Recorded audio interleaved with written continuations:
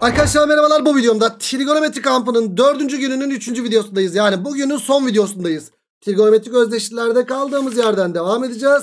Yani kitabımızda sayfa numarası 29 ve 30'u işleyeceğiz. Ve bugünü bitireceğiz. Haydi bakalım dersimize başlayalım. Örnek 32'de kalmıştık. Bir f fonksiyonu tanımlanmış. F'in içinde tanjant x artı kotanjant x var. Hadi şurayı bir düzenleyelim istersen.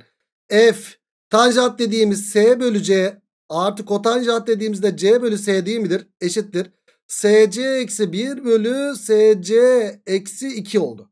Hadi düzenleyelim. Bunu S ile çarpalım. Bunu C ile çarpalım.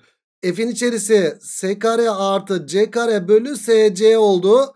Bu da SC eksi 1 bölü SC eksi 2'ye eşit oldu. Evet.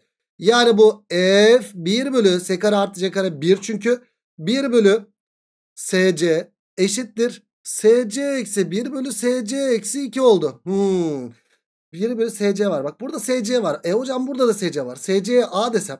Yo 1 bölü A ile uğraşırım. Bence 1 bölü SC'ye A diyeyim. 1 bölü SC'ye A dersem o zaman FA neye eşit oluyor? 1 bölü SC'ye A dersem buradan SC de neye eşit oluyor arkadaşım? 1 bölü A'ya eşit oluyor. Hadi düzenleyelim. 1 bölü A eksi 1 bölü 1 bölü A eksi 2'ye eşit oldu. Düzenleyelim o zaman. FA fonksiyonumuz neye eşit oluyor? Hocam 1 eksi A bölü A yukarısı aşağısında 1 eksi 2A bölü A'ya eşit oldu. Yani düzenleyecek olursak FA fonksiyonumuz ne oldu? 1 eksi A bölü A'lar gidiyor. Çünkü 1 eksi 2A'ya eşit oldu. Hmm. Şimdi aslında şöyle düzenleyelim. Bu bizim fonksiyonu A'lar başta oluyordu ya böyle. Atalım böyle atalım atalım atalım. Yani şeyi alalım. Şunu bu tarafa atalım. Yani bizim FA fonksiyonumuz neye eşit oldu arkadaşlar? FA fonksiyonumuz eksi A artı 1 bölü eksi 2A artı 1'e eşit oldu. E buradan FA fonksiyonunu buldum. Şimdi burada ne verilmiş? FOF. FOF x yani f f sinüs x. Bu 3 bölü 5'e eşit verilmiş. Arkadaş bunu bulmaya çalışalım. Şimdi ben f fa'yı biliyorum. Yani fx'i biliyorum. fx yazacak olursam eksi x artı 1 bölü eksi 2x artı 1 yapıyor ya. Hani f sinüs x'i bulurken de o zaman buraya sinüs x yazacağız. E sinüs x'i yazınca burası çok karışık çıkacak. Orada bir sıkıntı olacak. Yani eksi sinüs x bak a yerine sinüs x yazdığım, yazdığımız zaman eksi sinüs x artı 1 bölü eksi 2 sinüs x artı 1 geliyor. Burada sadeleşecek bir şey falan da yok. Başka bir şey düşünmeliyiz burada. Fof fonksiyonu geldi. Aa bir dakika şuraya bak çakallık var burada. Ne var burada çakallık? Hocam burada fa fonksiyonu buraya. F'in tersi de ne eşit? F üzeri eksi 1 A'da yine aynı eksi A artı 1 bölü eksi 2 A artı 1'e eşit oldu. Yani F ile F'in tersi birbirine eşit oldu arkadaşım. Niye? Şöyle bir hatırlatma yapayım yukarıda. Bak şimdi kardeşim. Fx fonksiyonumuz eğer ax artı b bölü cx artı d şeklindeyse f üzeri eksi 1 fonksiyonumuz ne olacaktı arkadaşlar?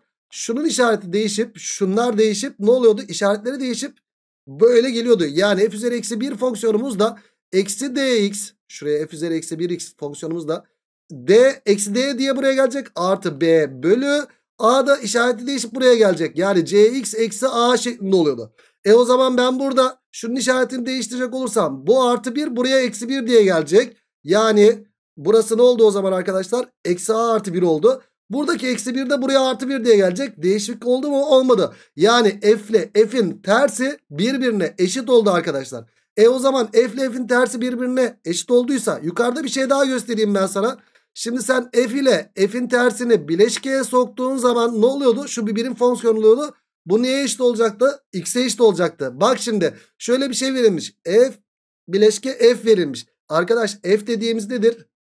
Ben buradaki f yerine f'in tersini yazabilirim. E o zaman ne oluyor? Bu sinüs x eşittir 3 bölü 5 ya. Hocam f ile f'in tersi bileşkeye girdiğinde birim fonksiyon oldu. Yani burada sinüs x kaldı. Yani sinüs x'in ne olduğunu biliyoruz biz. 3 bölü 5 olduğunu biliyoruz. O zaman burada yapalım. Sinüs x'in 3 bölü 5 olduğunu biliyorum ben. Kosinüs x'in pozitif değeri isteniyor benden. E o zaman çiz bir dik üçgeni. X burası sinüs x karşı bölü hipotenüs 3 bölü 5. E 3 4 5 üçgeninden 4 çıktı. E o zaman buradan kosinüs x neye eşit olacak? Komşu bölü hipotenüs 4 bölü 5 çıkacak. Ama bu ikinci bölgede de olabilir. Ya da diğer bölgelerde de olabilir. Yani kosinüs x fonksiyonu 4 bölü 5 de olabilir. Eksi 4 bölü 5 de olabilir. Bizden ne isteniyor? pozitif değeri isteniyor. O zaman cevabımız 4 bölü 5 çıktı. Ama burada çakallık var kardeşim. O çakallıkta nedir? Burada f ile f'in tersinin birbirine eşit olması bizim için önemliydi. Burada nereden çakallığa gittim? Acaba çakallık var mı diye böyle düşünürken yani burada f, f sinüs x'i yazacak olursam burada bir işlem gelecekti. Bir daha yazacak olsaydım bir daha değişik bir işlemle uğraşacaktım. Ama Allah'tan şöyle bir şey görünce hemen tersini bulmak kolay oluyor ya. Tersini yaz. Fonksiyonla tersi birbirine eşit olmuş oldu. E o zaman bileşkelerde de bu işlemi yapınca çok da güzel bir şey çıktı kardeşim. Evet çakal soru. Ama böyle çakal soruları da bilelim kardeşim. Belki biraz önceki ya, yani şu f ile f'in tersinin eşit olduğunu fark etmeseydik yine cevap çıkacaktı ama çok uzun yolla çıkabilirdi. Ama bu çakalmış. Çakal çakal çakal. Evet geldik örnek 33'e. Bir tasarımcı logo tasarımı yaparken bir kare ile köşegenini çizip köşegenini çizmiş kardeşim. Köşegen olduğu için burası 45 45 değil mi karede? Evet. E o zaman burası da 45 45. Burası 90 ve 90'dan dolayı tamam devam edelim. Alfa derecelik açı ile iki eş dik üçgen. Evet iki eş dik üçgen şunlar arkadaşlar. Niye eş? Çünkü alfa 90 beta burası. Alfa 90 beta burası. Hocam bu üçgenle bu üçgende bütün açılar eşit ve alfanın karşısı karenin bir kenarı.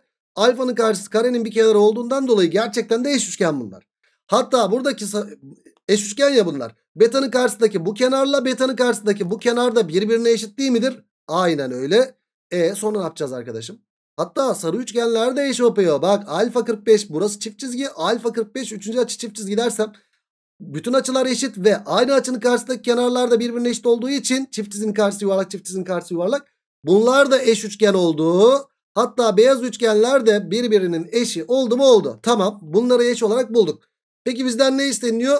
Logonun mavi bölgesinin alanının sarı bölgesinin alanlarına toplu alanları toplamına oranını alfa cinsinden değeri nedir diye soruluyor şimdi bize arkadaşlar. E ne yapacağız arkadaşım? Sarı bölgenin alanını bulmaya çalışacağız. Tabii burada şu kenar lazım olacak bana galiba. Normalde arkadaşlar şurada buradaki dik üçgen ve buradaki dik üçgende karenin bir kenarı ortak olduğu için yani eşit olduğu için bunlara 1 1 diyelim. İstersek x x x de diyebiliriz. Sonuçta en son bizden oran isteniyor. Bunu daha öncesinde hep söyledim. E hocam iki dik üçgende de kullanacağım bir var ya ya da x var ya en son sonuçta da böyle x'li bir şekilde çıkacak alan e oranladığım zaman x'ler de gidecek ya da x kareler de gidecek. Dolayısıyla 1 1 demek daha mantıklı. E ben burada şuraya bir a dersem a'nın değerini bulmaya çalışayım. Alfanın karşısı var komşusu var. Karşı bölü komşu dersem 1 bölü a olur. Komşu bölü karşı dersem a bölü 1 olur. Yani burada komşu bölü karşıyı kotanjant alfa a bölü 1 değil midir? Evet. A dediğim kotanjant alfaya eşit oldu arkadaşım. Aynen öyle. Şimdi ben burada kalanları bulmaya çalışacağım. Hatta burada şöyle bir şey deseydim eğer A alanıysa burası da A alanı. Burası B ise burası B alanı burası da C. Ya A'lara B'lere C'lere girersem sanırım olmayacak. A artı B alanını bulabilirim. Bak bulsam. Hani A artı B alanını bulduk diyelim. 1 çarpı kotanjant alfa bölü 2. E sonra hocam 2B artı C alanını da bulabilirim. 2B artı C alanını da bulabilirim. E ben buradan neyi elde ederim? Hocam bana B'ler lazım değil. E o zaman B'ler lazım değilse şunu eksi 2 ile çarp taraf tarafa toplarsam eksi 2A artı 2B'yi bulurum. Yani e, B eksi A'yı bulurum. E B eksi A'yı bulmam önemli değil ki. Alanlar oranı isteniyor benden. O zaman alanlar oranını belli bir kat şeklinde yazmam lazım. Belli bir kat şeklinde yazmam için o zaman buradaki A'ları B'leri sileyim ben. E hocam belli bir kat şeklinde nasıl yazabiliriz? Tabanlarla doğru orantılı olacak şekilde bir şekilde çizebiliriz ama tabanda oran yok. Ama hocam bak şuradaki üçgene bak. Buradaki üçgende bu bir açı ortay. Ben tabandaki oranı bulabilirim. Yani burası 45-45 ya açı ortay olduğundan dolayı kotanjant alfaya bir oran varsa burası kotanjant alfanın k katıysa burası da 1'in k katıdır. K'da kalan A ise yani bak buradaki K'da kalan A ise K çarpı kotanjant alfadaki alan da e, o zaman kotanjant alfanın kotanjant alfanın A katı olmak zorunda değil midir? Evet. Evet burada kalanlar oranını buldum. Yani burası da yine kotanjant alfanın A katı olmuş oldu. E şimdi mavi bölgenin alanını bulmam lazım. Buradaki oranlamaları böyle işin içine girdirebilir miyim acaba? Evet buradaki şöyle şuradaki oranlamaları bulmak için bir hamle yapabilirim aslında. Ya da buradaki oranlamayı bulmak için. E buradaki oranlama da belli aslında şöyle. Ya da ya da buradaki orana bakma. Bak şurada ne var? Bir kelebek var. Vay vay vay. Şuradaki kelebekteki oran belli. 1 bölü kotanjant alfa değil mi? Evet burayı kotanjant alfa olarak bulmuştuk. Arkadaş burada kelebekteki oran belli. Alanı da dağıtacaksam eğer ben o zaman Benzerlik alan ilişkisine dalabilirim. 1 bölü kotanjant alfanın karesi 1 bölü kot kare alfa. Kelebekte oran 1 bölü kotanjant alfa ya. Benzerlik oranın karesi 1 bölü kot kare alfa alanlar oranına eşittir. Ben şuraya bir x alanı diyeyim. Alanlar oranında a artı x bölü neye eşit? Kotanjant alfa çarpı a alanına eşittir. Yani ben burada x alanında a cinsinden bulmaya çalışacağım. Hadi bakalım bulmaya çalışalım. İşler dışlar yapalım. Bununla bunu çarpalım. a çarpı kot kare alfa artı x çarpı kot kare alfa eşittir. Kotanjant alfa çarpı a ya da a çarpı kotanjant alfa mı yaptı burası? Evet. Ben neyi bulmaya çalışacağım? X'i. Bir dakika. Bununla bunu çarpınca evet tamam. X'i bulmaya çalışacağım. O zaman X'i yalnız bırakacağım arkadaşım. Buradan X çarpı kot kare alfa neye eşit? Hocam A çarpı kotanjant alfa eksi A çarpı kot kare alfa. Oo devam. Buradan da X alanı neye eşit olacak? Bak A çarpı var ya burada. A parantezini alırsan. Hatta A çarpı kotanjant alfa parantezini alırsan burada. Hocam ne yapıyor o zaman burada? 1 eksi kotanjant alfa bölü buradan da kot kare alfa mı geldi? Evet. Kotanjant alfalar birbirini götürsün. 1 eksi kotanjant alfa bölü kotanjant alfa yapar x. Bir de a çarpanı da var burada. Tamam x alanını buldum. Şimdi benden ne isteniyor? Mavi bölgenin alanı. Mavi bölgenin alanı bu. A çarpı 1 eksi kot alfa. A çarpı 1 eksi kot alfa bölü aşağısında neydi? Kot alfa. Kot alfayı yazalım. Bölü sarı bölgenin alanına oranı. Sarı bölgelerin alanları toplamı oranı. O da A çarpı kot alfadan 2 tane yok mu? A çarpı kot alfadan 2 tane var. Hocam A'lar birbirini götürdü. O zaman şurada ne, ne yaptı? Ters çevirip çarptığımız zaman 1 eksi kot, kotanjant alfa bölü hocam 2 kot kare alfa mı yaptı? Evet. Şimdi ben bunu arayacağım arkadaşlar. Buradaki cevabı bulmaya çalışacağım. Ama cevap böyle kotan, tanjantlı falan filan verilmiş burada. Ee, tanjanta mı çevireceğiz acaba bunu? Tan Yo bunu parçalayalım. Bu ne demek? Hocam 1 bölü 2 kot kare alfa. Şurada 1 bölü 2 parantezini alabiliriz değil mi arkadaşım? 1 bölü 2 parantezini aldığım zaman 2'yi buraya aldım. Yani şu şöyle 1 bölü 2 yaptı arkadaşlar burası. 1 eksi kotanjant alfa bölü kot kare alfayı arıyorum. Şu da nasıl parçalanıyor? 1 bölü kot kare alfa eksi kotanjant alfa bölü kot kare alfa yapar burası. Hocam 1 bölü kotanjant neydi? Tanjant demek değil miydi? Evet burası 1 bölü 2 çarpı tanjant kare alfa eksi şununla şu birbirini götürdü. 1 bölü kotanjant alfa da tanjant alfa yapar. Yani cevabımız ne yaptı? 1 bölü 2 çarpı tan kare alfa eksi tanjant alfaya eşit olmuş oldu arkadaşlar. Of soruya bak. Ya arkadaşlar ya sana samimi bir şey söyleyeyim mi? Sana samimi bir şey söylüyorum şimdi dostum. Aha şu masanın üstüne koduğumun kitabı var ya. Sen bu kitaptaki bak biz şimdi ne işliyoruz? Trigonometrik özdeşlikleri işliyoruz. Trigonometrik özdeşliklerle ilgili her soruyu görmedin mi? Aşırı derecede farklı sorular görmedin mi? Ve diğer sadece trigonometride değil bak ne yazıyor burada? Trigonometride artı 4 net yazıyor değil mi? Artı 4 net değil. Yani sen bu kitabı bitir. Trigonometride tamam 4 net cepte. Ama diğer matematik bilgine de bir fayda sağlıyor. Yani sen bu trigonometri fasikülünü böyle hakkıyla bitirirsen büyük ihtimalle artı 10 net cepte diyebilirim yani. Çünkü her şeyiyle matematiği de için, işin içine katmışız burada. Her şeyiyle biz bu işi hallediyoruz. Yani zaten ben Mert Hoca bir de SML de çözüyor. Benden böyle farklı gördüğü soruları bir de onların tarzıyla dinle böyle. Ya senden kralı yok kardeşim. İşte bu fasikül samimi bir şekilde söylüyorum.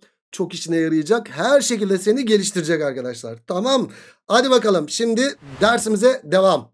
Dersimize devam edelim. 33'ü bulduk. Ve geldik 34. soruya diyeceğim ama bir not yemişiz. Trigonometrik bir ifadenin değeri verilip başka bir ifadenin değeri istenildiğinde şuna dikkat edeceğiz. Daha öncesinde söylemiştik. Tanjant x çarpı kotanjant x 1'e eşit. Bir de sin kare artı kos karenin 1'e eşit olduğunu bileceğiz. Evet. Ama bir de çarpanları ayırma ile ilgili özellikleri de hatırlayalım. A kare artı B kareyi çok kullanırız. A kare artı B kareyi bulurken A artı B'nin parantez karesini alıp işlem yapabilirsiniz. O ayrı bir konu. Ama A kare artı B kareyi de bazen şu şekilde bilseniz iyi olur. Ya A artı B'nin parantez karesi eksi 2 AB şeklinde yazılabiliyor.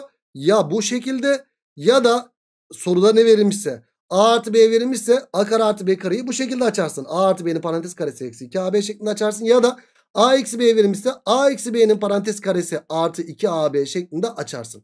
Zaten sen şunu açtığın zaman A artı B'nin parantez karesine A kare artı 2AB artı B kare ya 2AB'ler götürüyor A kare artı B kare kalıyor. Ya da bunu açacak olursan A kare eksi 2AB artı B kare yapıyor. Artı 2AB var. 2AB'ler götürüyor. A kare artı B kare yaptığını görüyorsun. Yani A kare artı B karenin iki tane açılımı var. Tamam sen A artı B'nin parantez karesini alarak da bunu yapabilirsin. O ayrı bir konu. Hocam bu A kare artı 2AB artı B kare ya.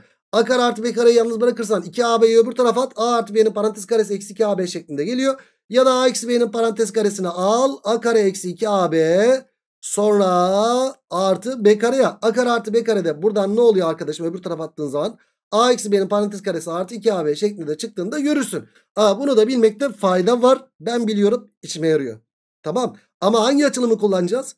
A kare artı B kare verilip de A artı B'li bir şey verilmişse bu açılım. A eksi B'li bir şey verilmişse bu açılımı kullanmakta fayda var.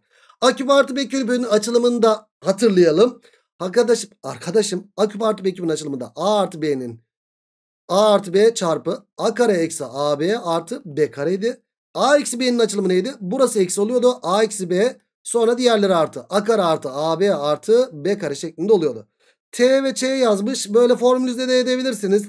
A artı B'ye T deyip işte çarpımları da A eksi B'ye de Ç deyip formülize edebilirsiniz ama gerek yok. Bu açılımları bildikten sonra devamı rahat bir şekilde güzel bir şekilde gelir kardeşim. Evet geldik örnek 34'e. Şimdi şöyle bir ifade verilmiş. Sinüs x çarpı kosinüs x isteniyor. Daha öncesinde de söylemiştik. Arkadaş toplamları verip de çarpımları istenildiği zaman ne yapıyoruz? Her iki tarafın karesini alıyoruz. Bak her iki tarafın karesini al. Her iki tarafın karesini alınca hocam s kare artı 2sc artı c kare eşittir 9 bölü 25 geldi. Çok güzel. S kare artı c karenin 1 olduğunu biliyoruz. O yüzden 2sc'yi kaç buluruz arkadaşım? 2sc 9 bölü 25 eksi şu 1 ya 1 yapar burası. O zaman 2sc eşittir e, 9 eksi 25 yani eksi 16 bölü 25 yapar. Hatta buradan da s çarpı c'yi kaç buluruz? Eksi 8 bölü 25 olarak buluruz. Evet s çarpı c eksi 8 bölü 25 çıkar arkadaşım. Şimdi bizden ne isteniyor? Hocam sinüs x eksi kosinüs x isteniyor. A sinüs x artı kosinüs x verilip de sinüs x eksi kosinüs x isteniyorsa eğer Yine sinüs x çarpı kosinüs x'i bulmak zorundayız. Evet buradaki adımda sinüs x çarpı kosinüs x'i bulduk bulduk. Hocam şuna bir a değeri verelim. E ben burada ne yapayım? Her iki tarafın karesini alayım. Yani s artı c verildiğinde de sx c verildiğinde de karesini alın. Çünkü s kare artı c kare 1 yapıyor. Hocam her iki tarafın karesini alırsam şu da burada göstereyim. Alt tarafta göstereyim pardon. Şuna a dedim. s c'ye a dedim ya. Hocam şunun karesini aldım, alacak olursam bu da s eksi karesi a kare eşit oldu. O zaman s kare eksi 2 sc artı c kare eşittir a kare yapar. E hocam buradan s kare artı c karenin 1 olduğunu biliyorum ben. O zaman burası 1 yaptı. 1 eksi 2 sc. Ben sc'nin de eksi 8 bölü 25 olduğunu biliyorum. Biraz önce buldum. Yok soruda sadece sinüs x artı kosinüs x verilip de sinüs x eksi kosinüs x sorulmuş olsaydı yine sinüs x artı kosinüs x'in karesini alıp SC'yi bulmak zorundaydık. Biraz önce yaptığımız için bu işlemi burada yerine yazayım. Eksi 2 çarpı SC yani eksi 8 bölü 25 eşittir a kare yapar. O zaman burası kaç yaptı? 1 artı 16 bölü 25 yapar. 25 ile 16'nın toplamı 41 mi yaptı? Evet bu a kareye eşit oldu. O zaman 41 bölü 25 eşittir a kare yaparsa a da böylelikle kök 41 bölü 5 yapar arkadaşlar. Ama a kare 41 bölü 25 eşit ya a da artı eksi kök 41 bölü 5'e eşit olur tabii ki. Eksi kök 41 bölü 5'in karesi de yine 41 bölü 25 yapıyor ya ondan dolayı.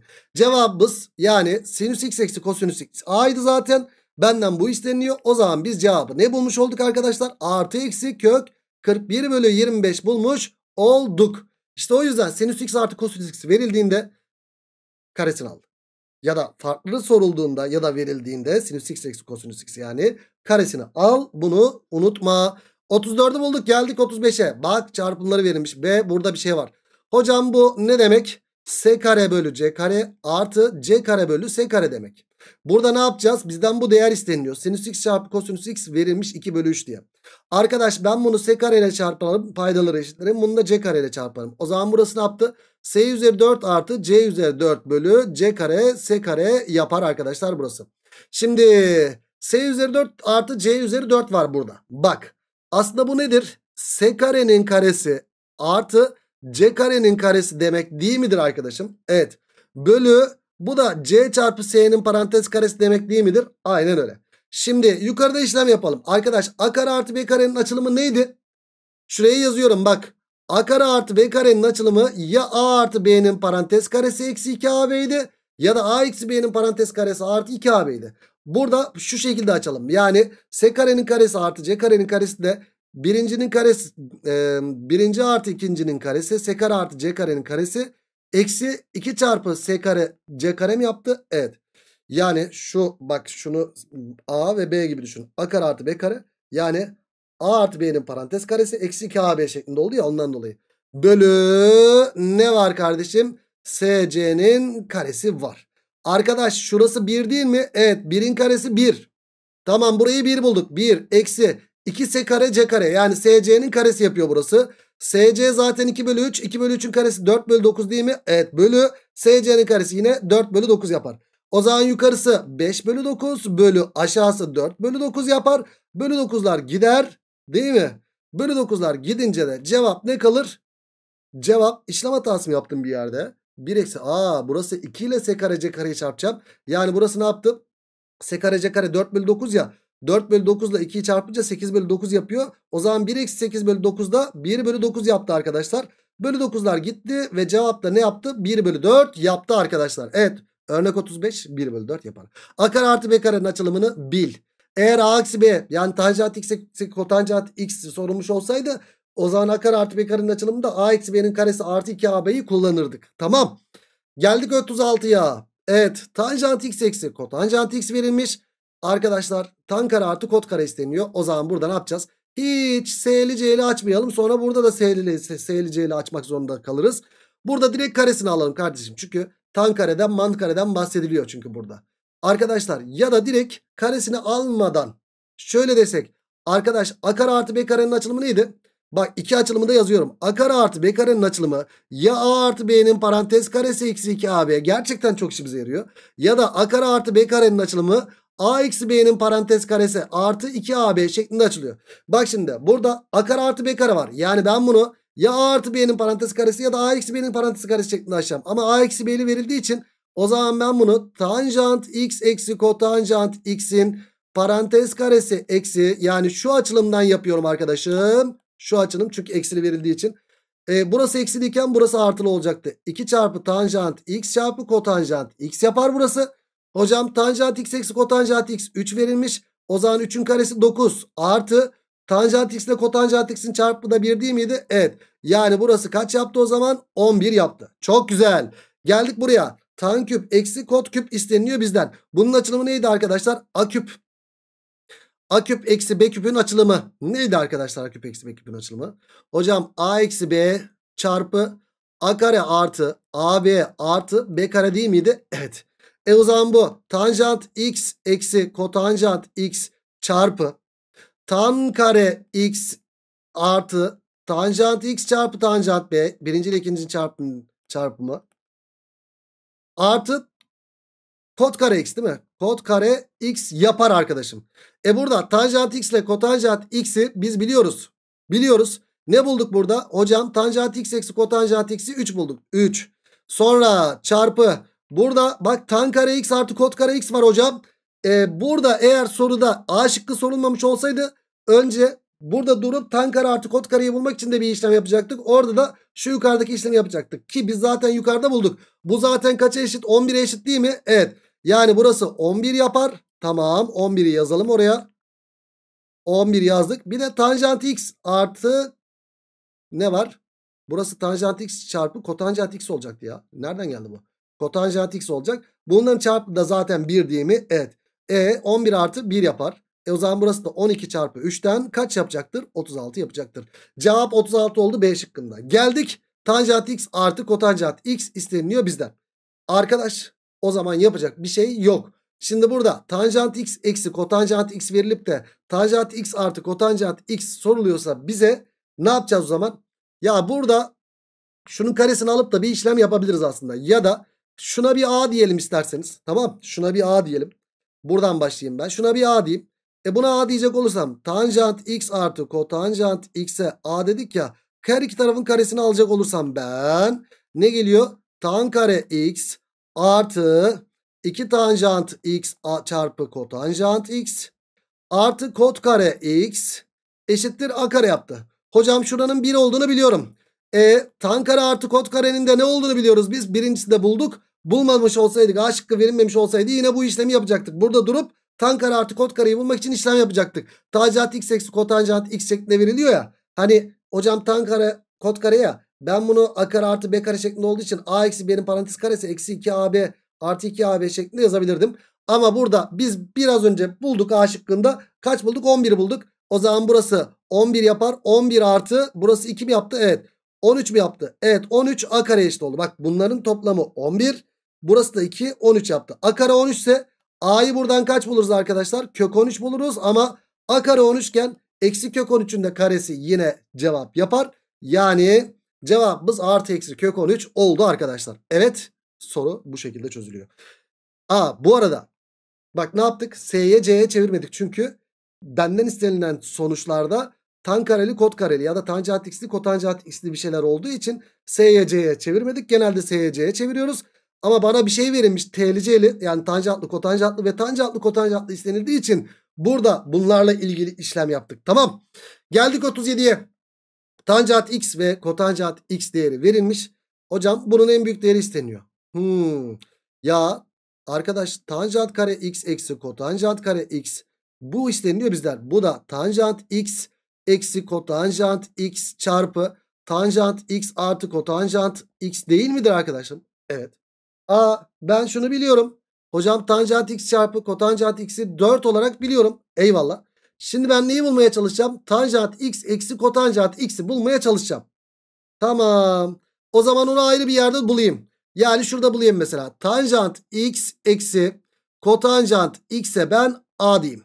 Her iki tarafın karesini alayım.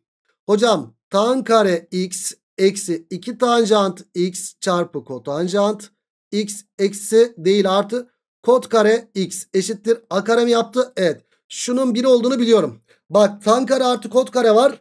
Tanjant artı kotanjant var.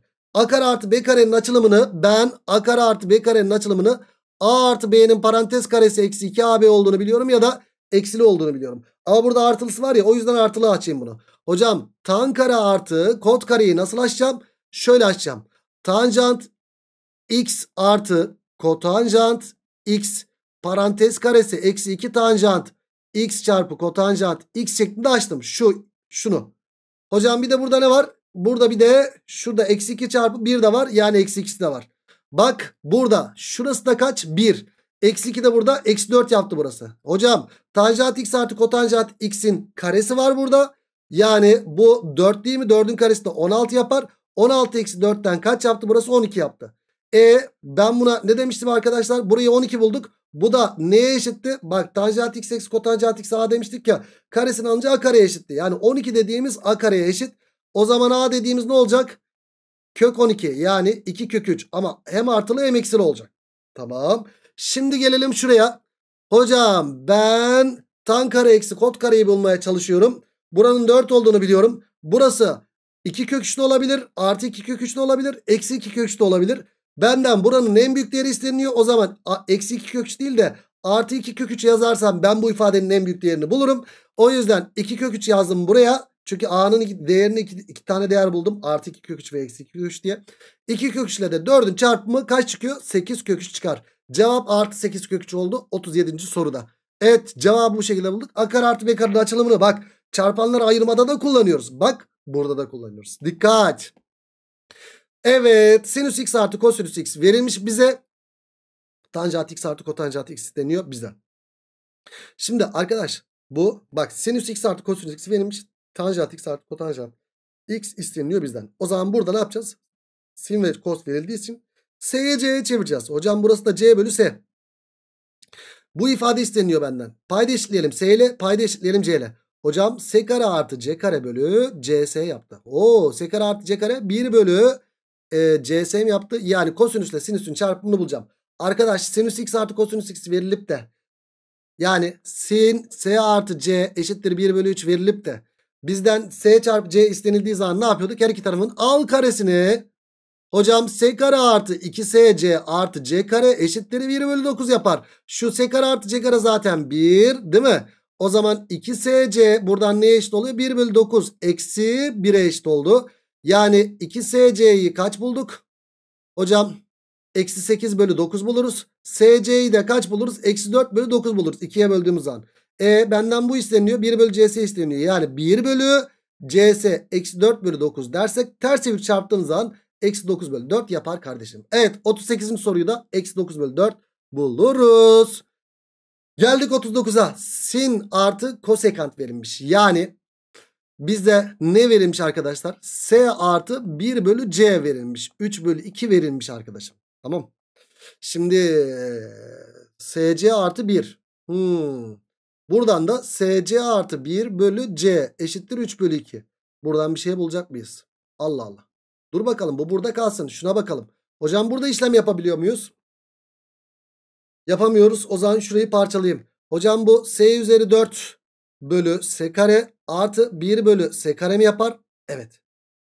E o zaman burası S kare artı 1 bölü S kare mi yaptı? Evet. E, bu 1 bölü ay burası 1 bölü S olacak arkadaşım. Dur dur dur dur dur dur dur dur dur. Tamam yanlış yazmışım burayı. S artı 1 bölü S. Kosekant 1 bölü S değil mi? Arkadaş bak burada S artı 1 bölü S 3 bölü 2 verilmiş. S kare artı 1 bölü S kare isteniliyor bizden. Tamam. E, yapacağımız işlem belli. Şurada işleme devam edelim. Arkadaş burada ne yapabiliriz? Her iki tarafın karesini alalım. Karesini aldığımız zaman S kare artı birinci ile ikincinin çarpımının iki katı. S çarpı 1 bölü S artı ikincinin karesi 1 bölü S kare eşittir 9 bölü 4 yapar. E hocam buradan şunlar gitti. Bak S kare artı 1 bölü S kareyi kaç bulduk o zaman? Şurası 2 ya öbür tarafa attık 9 bölü 4 eksi 2. Yani bu da kaç yapıyor o zaman? 4 kere 2 8 1. 9'dan 8 çıkınca 1 yaptı. 1 bölü 4 yaptı. Arkadaş bizden bu uzunluk isteniyordu. Bu uzunluk derken bak geometriye gitti. Şu isteniyordu benden. Bunu da parçalayınca sekar artı 1 bölü sekare isteniyor. E zaten sekar artı 1 bölü sekareyi şurada işlemin devamını getirince karesini alınca kaç bulduk? 1 bölü 4 bulduk. Yani cevap 1 bölü 4 çıkar. 39. soruyu 1 bölü 4 bulduk. Geldik 40'a. Denklemin kökleri verilmiş. Aman Allah'ım. Kökler verilince ne yapıyoruz? Kökler toplamı ve kökler çarpımını direkt yazıyoruz. Hemen A artı B'yi yazalım. Kökler toplamı eksi B bölü A yani eksi eksi 1 bölü 1'den kaç buluruz arkadaşlar? A artı B'yi A artı B'yi 1 olarak buluruz. Tamam. Kökler çarpımı da C bölü A. C dediğimizde M, M bölü 1'den M çıkar. Evet elimizde bu var ve bu var. Kökler toplamı ve kökler çarpımı var. Tamam M'nin alfa türünden değeri nedir diye isteniliyor bizden. Arkadaşlar öncelikle burada ne yapabiliriz? B yerine ya da A yerine bir şey yazabiliriz. Önce A yerine bir şey yazayım isterseniz. Burada A'yı yalnız bıraktığımız zaman 1 eksi B mi yapıyor? Evet. A yerine gel 1 eksi B'yi yaz kardeşim. Yani burası 1 eksi 4B eşittir 4 sinüs alfa artı 1 yapar. E süper birler nanay olur. O zaman buradan eksi B eşittir 4, 4 eksi 4 ile de bu sadeleşince hatta şöyle eksi 4B eşittir 4 sinüs alfa oldu ya. Buradan da eksi 4'e böldüğümüz zaman B'yi de sinüs alfa mı buluruz? Hayır. Eksi sinüs alfa olarak buluruz. B'yi eksi sinüs alfa olarak bulduk. Tamam. E burada biz bir de kökler çarpımını da şu olarak bulmuştuk. Tamam. Burada işleme devam edelim. A neydi? 1 eksi B değil miydi? Evet 1 eksi B çarpı B yerine de ne yazacağız? B yazalım eşittir M. Arkadaş B'yi de biz eksi sinüs alfa olarak bulmuştuk. Yaz yerine 1 eksi B yerine eksi sinüs alfa yazınca 1 artı sinüs alfa yapar burası. Çarpı bir de ne var?